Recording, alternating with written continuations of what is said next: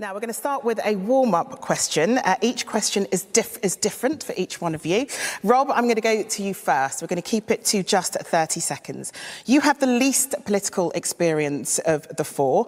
What do you think you could bring to London?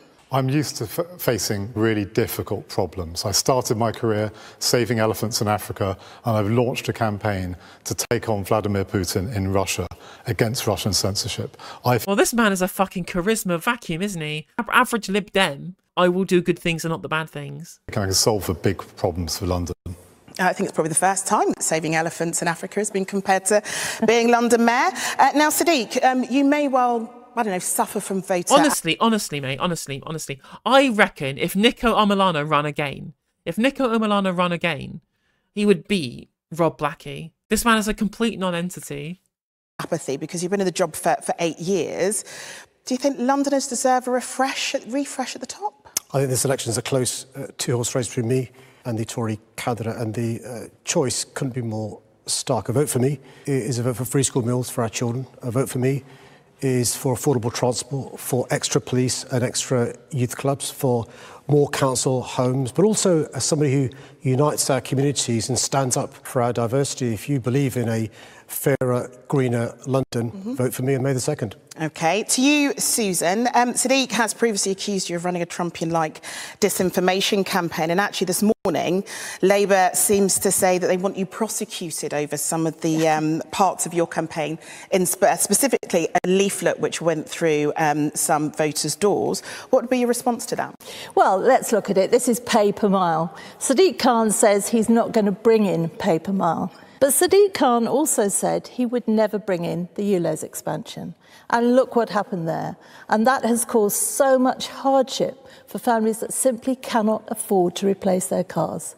Yeah, yeah, exactly. He it was, it was Sadiq Khan who brought in the ULEZ expansion. Do you want to expand on the reasons why he was forced to by the DFT when Grant Shapps explicitly, in his position as head of the DFT, made TFL funding contingent on ULEZ expansion? Do you want to talk about that, Susan? Do you want, do you want, do you want to mention that at all? They think that is bad enough. If we bring in pay per mile, or if Sadiq Khan brings in pay per mile, everybody will be paying. And if you look at the evidence, it's in his book, page 186, I'm reliably informed. He talks about it. I'm, go- so I'm it going is to not wrap nonsense. You, he will bring I'm it going in. to wrap you now. he will Susan. bring it You've in. had your 30 seconds. Um, and I know It's Sadiq, interesting as well that at no point did Susan Hall say anything positive that she would do. You will have a chance to talk about Lu- years later on in this programme. Now, Zoe, there is no second vote uh, because voting rules have changed. Do you think that will help or hinder the Greens? I think that people need to vote for what they believe in in this election. The Greens have stood on a really strong platform of we've been talking about affordability, of workers' rights, of the rights of renters, and if that's what people believe in, that's what they need to vote for this election and vote Green. Oh, you came under, Zoe. I'm very impressed. uh, now, we're going to move on to transport. And a reminder to viewers that throughout this programme, uh, the results of our opinion poll will be popping up on the screen. So you'll be able to have a look at those whilst we also listen to the candidates. Sadiq, I'm going to go to you first. Um, ULEZ one could argue is your flagship. Um, 45,000 non-compliant cars in London out of two and a half million cars on the roads, raised about 107 million, um, and a reduction, a huge reduction of people living in areas with illegal levels of nitrogen ox- dioxide. Earlier, uh, Susan said that your next plan is pay per mile. Is that true? It's, it is uh, untrue. Uh, what I'm passionate about is continuing to improve public transport in London. London has benefited with a fares freeze in five of the last eight years, the Hopper fare, unlimited bus travel for an hour, and also with the tram, the cheapest bus fares in the uh, country. What I'm going to do if I'm re-elected is to make sure all our buses are zero emission. We already have the largest electric bus fleet in Europe. Just imagine if all 9,000 were electric. But we've more still trees, got, we've more got rewilding. workers going out on strike, though. I mean, how are you planning on dealing with those sorts of issues? I mean, Sadiq Khan literally just gave them a pay rise. It's weird how just Sadiq Khan was in control of the London transport and just gave the workers the pay rise and then they stopped striking. Really weird. Like, if you get a negotiated settlement with striking workers, with their union, based upon a mutually agreed bargaining process, stop striking. It's crazy, isn't it? Crazy. Mad shit. You've got some unhappy transport workers. Well, we, uh, by the pandemic, had reduced strikes in London by more than 70%. The only people unhappy when I worked with the trade unions to call off the strikes uh, this January and last month were the Conservatives. It's really important to talk to our trade unions. They work incredibly hard. I've got a huge amount of respect for our transport workers. Mm. I'm going to carry on talking to resolve these issues amicably rather than sort of strikes we see across the country yeah. with junior doctors and with teachers and with uh, workers across the country. Yeah, but perhaps a bit more urgency with talkers, one, uh, talking to those workers, one would argue. Now, um, Susan, ULEZ seems to be your number one priority, but actually, when we did our opinion poll, 6% of voters polled, just 6% said it was actually their number one priority. But it is such a key part of your campaign. So in that, in that vein, are you still planning on reversing it on day one? Absolutely. Day one, it goes, as does pay per mile. And there is all... no pay per mile, so you can't uh, reverse uh, pay per mile if it doesn't exist. No, but you can stop the plans, you can stop all the work going on. Sadiq Khan has already spent £21 million on pay per mile. He said he would never bring in the ULEZ but expansion, specific, and he but specifically, did. let's talk about ULEZ. Yeah. Because we Again, have... At no point has she said anything that she would do. No positive messages coming from Susan Hall at all. So many compliant cars in London now. What would you say to those families who have forked out for cars that actually, if you're reversing ULEZ, will be pointless? Well, those families also know other people that simply cannot afford to replace their cars. Um, ULEZ was brought in on the pretense it would clean up air. Sadiq Khan knows his own impact assessment said that it would make virtually no difference to air quality whatsoever. But what it has made a difference to are those poor families that simply cannot afford to replace their cars. And the studies do show that it does help air quality. I think there are reasonable criticisms that you can make of the impact on poor people who can't afford to upgrade their cars, or indeed people in the trades who need to be able to use vans and things like that for work, for example, that might not be ULEZ compliant. And we need to have a better conversation on how we make the system effective, cost effective, and also socially just. I would take those criticisms on board. But to say that it doesn't reduce emissions is just not true. And other families have had to take on massive loans to replace the cars. But those it loans will, will still need repaying if you reverse the decision. And I think that that is the issue I think quite a few people are worried about. And as I said, just 6% is their, their main priority. But Zoe, if I'm going to talk about transport for you, uh, you said you want single fare across all transport. I mean, that's not cheap. So how are you planning on paying for it? That's an ambition, and it's all about fairness. That's what our transport policy is all about. So it's all about bringing down the fares for outer Londoners, people that are paying. Some people have been pushed out into those outer boroughs and then having to travel further into work. So it's all about creating a system that's a lot fairer. Yes, it will be expensive. I'd have to negotiate with the government for that money. So we'd want to start looking at maybe the DLR first, mm. but eventually getting a one fare like we do on the buses. I mean, uh, Sadiq Khan had to negotiate quite hard with the government for anything when it came uh, to dealing with the TFL deficit which is still, still rather high, why do you think you'll be able to negotiate with them any better? So this- I mean, I actually think the current fare freeze is fine. I think that trying to change too much of the current fare plan other than just like making it entirely kind of free at the point of use which would take a lot more money i think it's kind of pointless really and truly when there's such a gigantic London budget. And in fact, a big London London budget surplus. I think it's a 17 million pound budget surplus for the London Mayor's office at the moment. I think that would be better spent on expanding free school meals to secondary school pupils rather than just primary school pupils than it would be to change slightly the formula, for example, on how fares are calculated. This is all about setting that ambition and having those conversations, putting forward that evidence, showing why it's so important and the, the unfairness across the city. I hear from Londoners that makes them getting to work difficult. You hear that people are walking to work instead of, you know, using the transport. So it's all about putting that case forward about, you know, addressing that inequality mm. in the mm. city. It's a, it's a, lot of money, though, Zoe. It's a lot of money. So If, if Labour do come in and you are still Labour mayor, it's obviously your, your party. But I can't see Rachel Reeves giving you all the money that, that you want if she becomes Chancellor. Well, I think the exciting thing this year, I call it a moment of maximum opportunity, the chance to have a Labour mayor working with a Labour government. In the last four weeks, I've been out with the Shadow Prime Minister, the Shadow Chancellor, the Shadow Home Secretary, mm-hmm. and the Shadow Energy Secretary, showing what can happen with a yeah. Labour mayor on the same side as the uh, government. And I'm so excited at that possibility. All right. Well, uh, very quickly to, to, to you, Susan, and then to you, Zoe. Uh, you could And it's worth pointing out again, you know, for all of the things that I dislike about the current Labour Party leadership, at least they have said that they will allow more autonomy and power for mayors to be able to do what they want. They just need to ensure that they dump the fiscal rules to be able to give them the day to day funding that they say they won't give them. So actually, Khan's promises relying on funding from central government is actually going to be a little bit hamstrung. But of course, there is obviously the potential for the fact that to keep Sadiq elected, Labour might pork barrel somewhat when it comes to funding for the London Mayor's office could end up, if you get into power, working with an opposition government. Do you think you'll be able to do that well? Well, I will work with anybody for the sake of Londoners. Uh, we have to remember Sadiq Khan has got a 21 billion pound budget. He cries poor the whole time. It's a 21 billion pound budget. A lot of money is wasted in City Hall. He spent 6.3 million pounds just renaming some overground mm-hmm. uh, lines. We must stop the waste. We must yeah. put the money where it's needed. And we need a mayor that will get the basics right. And will you get the basics right if you have to end up working? Again, an entire statement, all of it was just Sadiq Khan bad. Sadiq Khan did these bad things. Again, no discussion of what she would actually do. She has no policies, just opposition. With the Labour government, Zoe? I think the policies coming out of a Starmer government are undistinguishable from a Tory government. They've said that they'll stick to the same fiscal rules, which will widen the inequalities in our country and be bad for Londoners. I think that shows that this is the right time for a Green mayor who will stand up for Londoners across the city. All right, Zoe, thanks very much. Right, we're going to move on to crime, which in our poll came up as the second biggest issue affecting Londoners. Um, I'm going to go to you first, uh, Zoe. You have an ambitious target. Yeah, saying London is expensive for the budget. Like, have you seen the size of the city? Well, exactly. It's always got a 21 billion pound budget. Yeah, because he has lots of things that need money spent on because London has a gigantic population of zero murders in 10 years, and your focus is on youth crime. Um, why do you think more youth workers is the answer?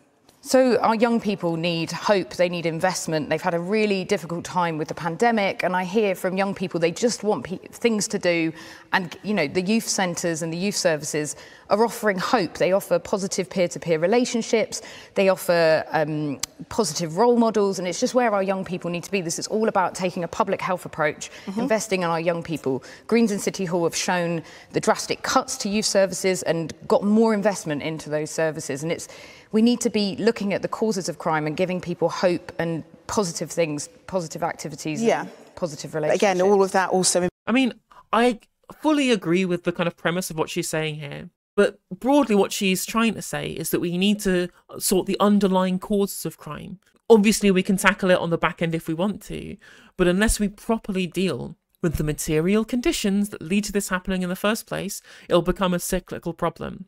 I think the answer was wordy and not really kind of rhetorically sound. We need we need positive things. I'm like, sure, but I don't think that necessarily fully answers the question in a way that makes people understand what you mean. So oh, crime is a byproduct of poor conditions for people, relative poverty, for example. We need to fix these underlying problems. Of course, we'll need investment in terms of reforming our police to make them fit for purpose right now, but the long term plan is to ensure that all of the underlying effects that cause crime in the first place can be alleviated through social programs, or something less wordy than I said it like that. The only good Blair tagline is tough on crime and tough on the causes of crime. I, I agree, actually. I think that's right involves quite a bit of money, so the finances for that have to come from somewhere. And Rob, you're a vocal victim of crime, and so this is this is a big issue for you. You say there should be a more focus on serious crime rather than low-level offences, and you say things like you want to double, double the number of sex offenders and rapists caught by the Met. Absolutely. That's according to your own manifesto. So, talking of costs, where's the money coming from? How are you going to do that? I'm going to cancel Sadiq Khan's uh, election gimmick of freezing tube fares, something that really helps tourists because it's single fares only. Like most people in London here will come here and then go home, so mm-hmm. they, they won't benefit from this so much. I'm going to use that money to get more police back on the front line. We currently have 6,000 police in London who are stuck in the back office. That's massively more than any other police force. Those are experienced police who can get there solving crimes. And I think that's critical because the proportion of rapists and sex offenders the police are catching has halved under the mayor. If I was in his. I mean, first of all, let's talk about austerity cuts because of the Conservative government. And second of all, I don't know why, of all people, you'd want to trust the Metropolitan Police at catching sex offenders. Unless you want them to investigate themselves, to arrest each other. I don't think the Metropolitan Police are in the right position to be the ones being tasked with dealing with this kind of problem. his position, I would be ashamed by it. Mm-hmm. I think that's absolutely critical. It's the most important thing we need to do. So it begs the question then, Sadiq Khan, are you ashamed? Well, I'm really pleased to work closely with the Greens in uh, City Hall, despite the cuts to the police, to youth clubs, public services, by being tough on crime, Uh, invested in record numbers of police, 1,300 police officers, funding 500 PCSOs, by being tough on the complex causes of crime, invested in youth clubs, after school clubs, holidays. We're still We've seen not violent hitting crime. our targets for the number of police officers we need in our streets, though. We're, we're, that's still not happening. We've got a lack of officers. Well- so if we're going to go by what Rob says and we have more officers, surely that will solve a lot of the bigger issues that we have. I was really pleased to be with Yvette Cooper last week, and she's confirmed if Labour wins the general election, uh, and I win on May, we'll have 1,300 additional officers in uh, London, plus hundreds of PCSOs She said that and uh, if, if special. money allows, is what she said. Yeah. What's important as well is that again we have to remember that this is under the fact that tens of thousands of police officers were taken off the streets by the Conservative government. Like, of course, I have my criticisms of cops. I'm a leftist after all, but you know, even in 2017, Jeremy Corbyn campaigned on the fact that Tory austerity had taken police off the streets because people do broadly support police as, an, as a solution to crime. That's why I think that tough on crime, tough on the causes of crime is such a kind of strong phrase for Sadiq Khan to be borrowing from the Blair years because it allows you to be able to win the votes of people who do want tough on crime policies whilst also acknowledging that that is only necessary because people haven't solved the causes of crime. And of course, crime is actually still going down in this country. It's only really fraud that's increasing. Well, there'll be 13,000 across the country, 1,300 in uh, London. Okay. Also invested in youth clubs. Zoe, spot on. Crime isn't inevitable, it's preventable. By using the public health approach, youth clubs, after school clubs, schemes in the summer holidays, we've managed to reduce the young people injured Yeah. with a knife, homicides, gun crime, and burglary. The ONS confirmed uh, last uh, year you're less likely to be the victim of violent crime in London than the rest of the country, but it is still too high. And that's why this year, a Labour mayor working with the Labour government will be the game changer. Yeah, I mean, but you Yeah, I think Sadiq Khan's answer there was a lot more well rounded than Zoe's was. Although it's clear that they are both on the same page with regards to how we alleviate the underlying causes here. And broadly, this is why they're, you know, if it was ranked choice, my votes would be Zoe first and Sadiq second. But it's first past the post, so unfortunately, I am recommending a tactical vote for Sadiq Khan. you know, there is the argument that, that you know, people say that London is out of control. And if you're a victim of crime, you just want it to stop. I saw an older lady who was a victim of crime outside Waterloo Station this morning, and I had to help her because her phone got, got stolen by muggers. I mean, Londoners are dealing with this every day. But is it correct, Susan, to call it London under siege, which is what you've said it you've called it before in terms of crime stats here. You, you do quite like that explosive um, language, I, uh, what, what one would say. There may be a lot of Londoners that don't agree that they're under siege, but you want to return to local policing. We want more bobbies on the beat. Beat. So how are you going to recruit them? Because that tends to be the problem. How will you convince people to sign up to the map? Yes, um, police officers need structure. And they've moved away from borough-based policing into great big units called BCUs. That doesn't work. We've got to go back to borough-based policing.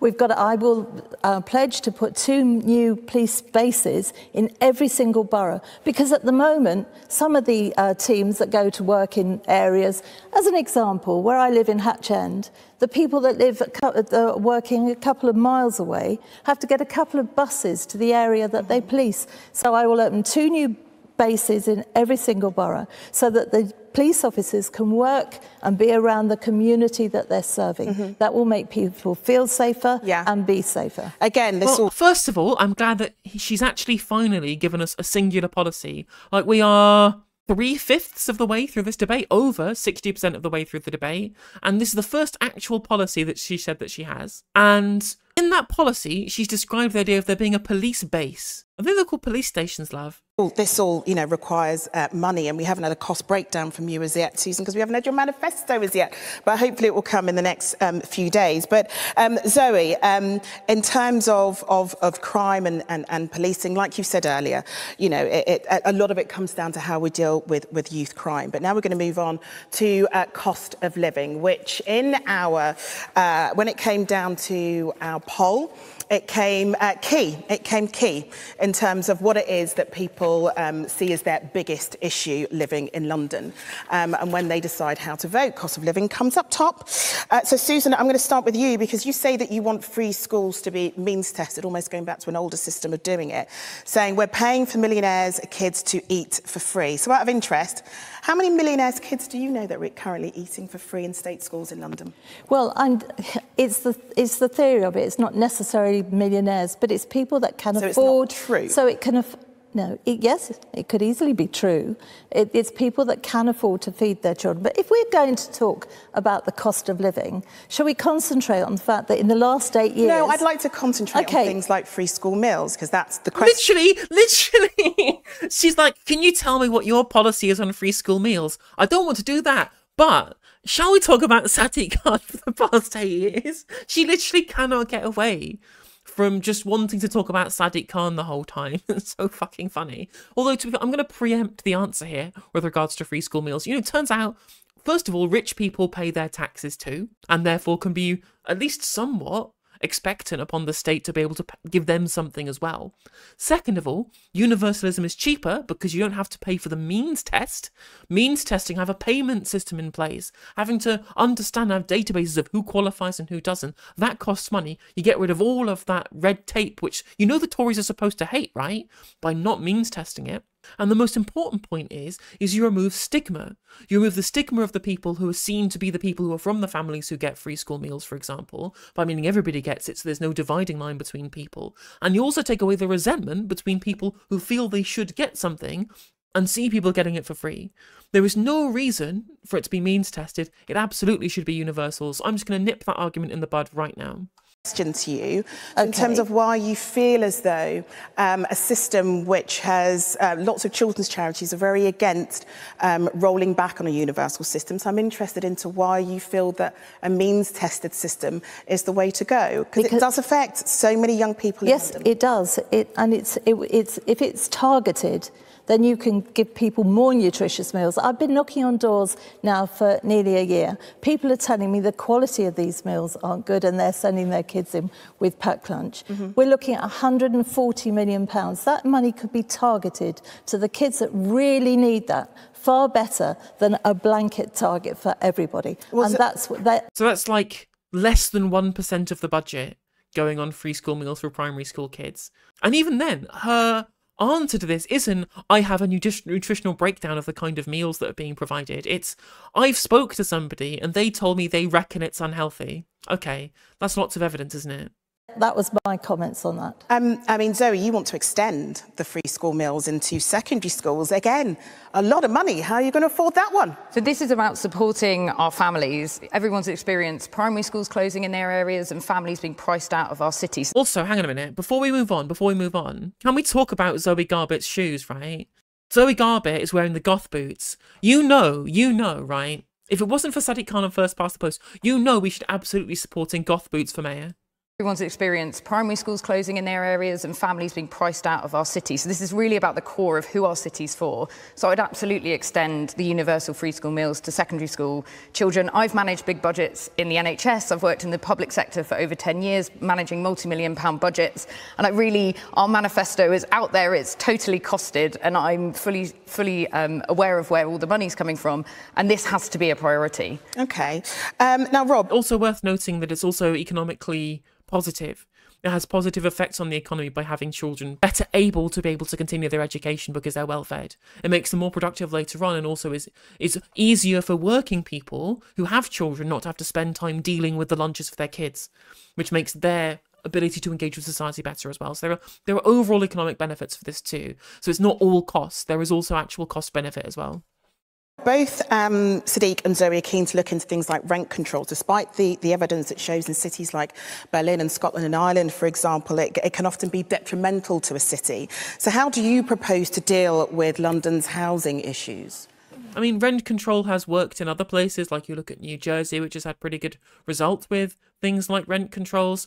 It just depends on making sure that you can engage in an additional supply increase coming from the state. It also, if you look at the evidence provided by Unlearning Economics in his video about Economics 101, talking about, well, actually, a lot of the times rent controls move properties out of the private rented sector into the owner occupied sector because landlords find it harder to be able to turn a profit. So it makes it so that we actually have fewer landlords overall. So I disagree broadly with the housing policy coming from the Greens because they don't have enough of an emphasis on wanting to build enough new council properties rather than just trying to take back other ones using right to buy back. There is also arguments to be made for rent controls alongside an increase in supply by state building for council housing. That's my preferred method. People's cost of living problem is severe in London, particularly because of soaring rents. And that's really, there's a simple reason. Our population has shot up in the last 15 years in London. We haven't built the houses to keep up with that. Sadiq has missed his housing target almost every single year. We need to build a lot more housing to bring rent. The absolute barefaced cheek, the temerity of a liberal fucking Democrat trying to impugn literally anybody else for not building enough houses. The absolute cheek, the cheek of a Liberal Democrat not building enough houses. Trying to say that other people don't build enough houses when you are a Liberal Democrat. Heaven forfend. Rents down. If we're going to do that, we need a London housing company to build housing on behalf of London government, but we also need to get the private sector building more. And that means taking out the red tape that makes it so slow and difficult to build a house in London. Mm-hmm. See what I mean? They're just grifters. They're just grifters who will change their opinions on a dime. Or we're campaigning in a rural constituency, or indeed in the Chesham and Amersham by-election that's happened in this electoral cycle, where they campaigned against the Conservatives, specifically because Boris Johnson had plans to liberalise planning laws to get the private sector building. Suddenly, oh, we're in London, we're in, in a city where people want to have more houses. Oh, now we do believe in, in getting rid of red tape to have the private sector building again. Ironically, I agree with his plan for a state-owned London-based house builder to build build new council housing. This is a good thing. But as Ben Sharp rightly points out in chat, the place in the country which has the most amount of new council houses being built is literally in London under Sadiq Khan right now, as well as the fact that he's also bringing in council houses from the private market too. Like Sadiq Khan is the person with the best record on house building of anywhere in the country. Okay, to you, Sadiq. Um, as Rob has mentioned, we're not meeting the demand on, on affordable homes. Back in March, the Housing Secretary Michael Gove, uh, to quote him, he said, to tackle the housing delivery backlog and meet targets set within the London plan, the average rate of delivery would need to increase from 37,200 to more than 62,300 homes a year. And we're not doing that. We're not doing it. So how long is it that Londoners have to wait before actually they're able to get affordable homes and be able to afford to live in this beautiful city? We've smashed every single government target set since 2016. The most completions in our city any time since the 1930s. The most council homes any time since the 1970s. We're building 10 times the council homes than the previous mayor did. If you look across England, we're building more than double the amount of council homes in London compared to the rest of the country. But what we need is more investment in council homes, more investment in generally affordable homes, and not luxury flats for foreigners to use as gold mm. bricks. And also, we need a way to control the rents in London. That's why I, I back rent controls in you, London. 2.3 million Londoners living in rent. Wow, yeah, see what I mean? Sadiq Khan is he's got everything. He's got everything that I would want to have from a London mayor. He literally, when I said earlier, I disagree necessarily with just rent controls. We need expansion of state property, and he's just giving us everything. Like He's base. Like, he's, he's just base. Like, I'm sorry. He obviously should be very clearly criticised for his undermining of Jeremy Corbyn throughout the Jeremy Corbyn years, right? But you know me, I don't care about personality, I care about policy. And Sadiq Khan's policy is excellent. I just wish that all of the policies that he do does which are good were echoed by the Labour leadership, which they seem to want to run away from rented accommodation. Sure, I promised six million rent control homes if I win. Forty thousand council but homes. We can see That's the, the evidence exists that it doesn't always work for a city. It can decrease the number of homes that are available for people to rent, and also uh, it, people just there will not be enough homes for people to, to, deal with. You promised rent control it's also worth pointing out that the evidence, right? So the evidence can show, I think there is reasonable evidence to show that sometimes when you do rent controls, quality of housing goes down because of the market mechanisms not requiring there to be much more investment from landlords to compete. So that's one thing you do get is the quality can go down. And I think that's true. I would cede that information necessarily, unless of course you know you take more of a personal desire to want to improve yourself when you live there. But the idea that necessarily reduces housing supply is only contingent on the state not building more, and there being fewer homes to privately rent also means that there are more own occupiers, therefore meaning the number of people needing to rent goes down. So the supply and the demand for renting goes down as we move people into public renting and also into own occupiers as landlords sell off their properties to people who will buy them to live in them. This is what rent controls do. Again, go watch the Unlearn Economics video on it. A lot of the studies just show, look, the number of rental properties has decreased. I'm like, yeah, because people are just living in them now because they've bought them to live in them. I agree, we need to build more houses. We need to build more council houses. 100% down on that. Sadiq Khan is right. Not luxury flats, proper, affordable council homes, all fantastic. Agree with that too. But that alongside some level of rent control as well is something I absolutely advocate for. Londoners are drowning in, in the rent they pay and the mortgage they pay. Liz Truss's budget led to people's mortgages going up by £630 a month. People's rents are going up by 20% Yeah. every year. We need more homes supplied to meet No, of demand, course, but and I more protection for renters as well. I- I get- private, on private, so I'm a private renter and I know how insecure it can feel and unaffordable the city is. And this is all about setting up a rent commission so that renters get to decide what the model looks like and get a better deal for renters. They would hear from landlords to make sure that the market isn't going to collapse. But right now, it's really not working for the millions of Londoners. You've got, Lond- you've got renters who won't even complain to their landlords about a, a simple That's good. fix, you know, like a light needing to be fixed because they're worried about rents going up or being evicted. And this is about being on the side of renters. R- Rob, very quickly. True. Well, well, Sadiq promised this at the last election. I was just watching last night your debate last time. You said exactly the same thing three years ago, and I think you need to explain why haven't you done it? Well, because we've got a Conservative government, But the Labour, the Labour Party now nationally say that they wouldn't do it either.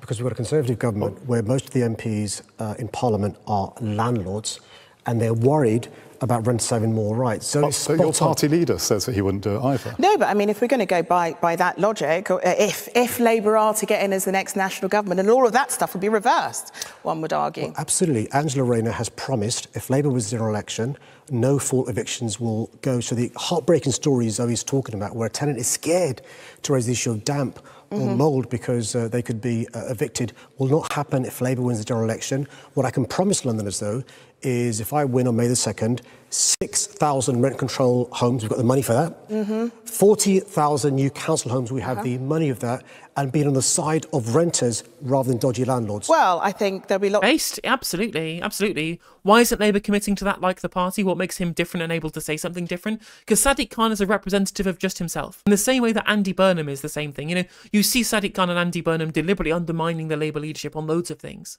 Like Andy Burnham has been explicitly pro proportional representation for a very, very long time, and said that he is upset that the party won't say. it. In fact, Andy Burnham was when being interviewed by Rivkah Brown from Novara Media, specifically said he believed that the Labour government of 97 to 2010 explicitly got it wrong on privatisation, which is a big admission from somebody who was part of that cadre to begin with. You know, he's he's willing to climb down when he thinks that he's wrong. And as Ben Sharp points out in chat, like this kind of rhetoric, this kind of language, this kind of policy is what you would have expected from Keir Starmer based upon his leadership campaign pledges. Yet where are they? Where is it? It's nowhere. I mean, Sadiq Khan was the one who called for a ceasefire. He was the first mainstream Labour politician to call for a ceasefire. He's been doing it for months, months and months and months and months and months. Sadiq has to just the city of London, which tends to be to the left of the country, I guess. But you, you know, at the very least, you can take the policies that he's campaigning on and maybe rhetorically dress them up differently because they're all excellent policies. Lots of Londoners who are sitting in, in homes right now who aren't up to scratch or